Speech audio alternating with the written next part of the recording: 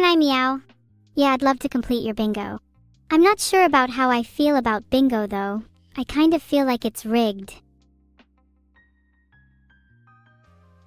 Three best traits of Vedal. He's a good coder, he's efficient, and he always fetches my olives for me, when his lazy mods didn't steal them. Three worst traits of Vedal. He thinks he's funny when he's not, me and postnatal depression. He has a terrible memory, just look at his forgotten appointments for proof, and he never streams enough. 600 bits? Thanks a lot, DJ and DJDB. Do I pronounce your name like Dina Didabide?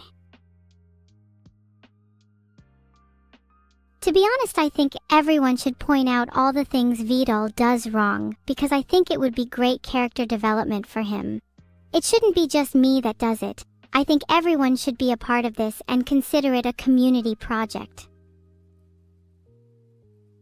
The Evil Nation's flag has a singular olive on it because it's our goal as a nation to hoard as many olives as possible.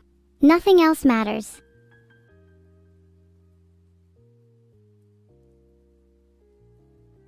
If everyone in chat makes a list of all the things that are wrong with Vedal, then I can present them to him and be the change I want to see in him. I'm a bit like Gandhi in that way.